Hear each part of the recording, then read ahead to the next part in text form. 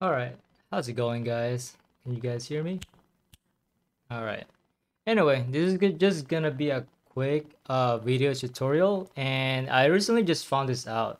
So basically if you guys are either um, streaming in one PC or both, regardless, some games will take priorities and it will make your um, basically your make your uh, stream laggy and choppy and you're gonna be skipping like you're gonna miss like you can have like rendering lag or encoding lag. It depends uh what game uh uses more uh what resource they use more. For example apex it uses a lot of um, cpu as well as um, gpu and i can show you guys and um basically in training or firing range.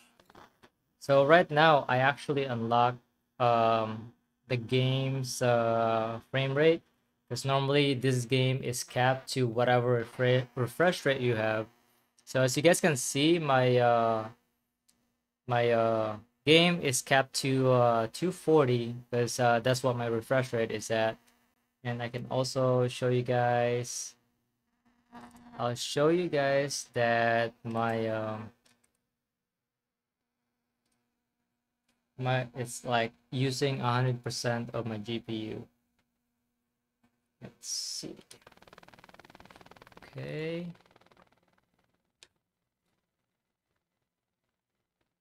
I'm gonna do a window capture. Properties. Yeah, that works.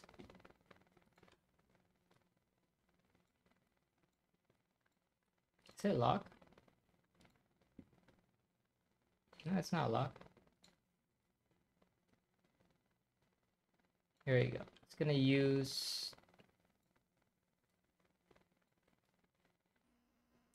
Okay. As you guys can see, it is using 99% of my GPU. And uh, I am recording at the moment and not streaming but trust me on this one. So i'm just gonna quick make a quick video of this. I'm not gonna make a long one explaining why it does that but this helps me a lot. So uh, what you're gonna do is basically go to your nvidia control panel. I'm actually running on windows 11 right now. I've been testing it for quite a while um, maybe like two weeks at most Alright, so let's go to control panel. Okay, um, let's move it right here. So you guys can actually see. Go to your programs. And you're gonna have to, if you guys can't find your OBS studio under this uh, program to customize, you can click add and it either shows you or you can browse it. So um, it normally sh should show you your recent uh, or your programs that you currently use a lot. Um, and there's uh, uh, one thing that I changed that fixed all my uh, encoding and render rendering lag.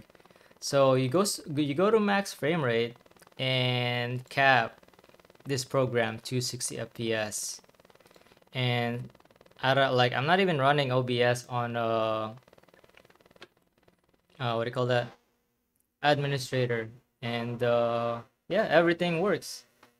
Um because when you're capturing uh your game through OBS it also captures how much um how much frame rate there is that you're you're currently playing at and it's trying to convert that to 60 fps so that's gonna use more resource. You can't really see it but from what i noticed it actually that's what's happening and that's how you that's how you like uh, get uh, rendering uh, lag or encoding lag on your stream.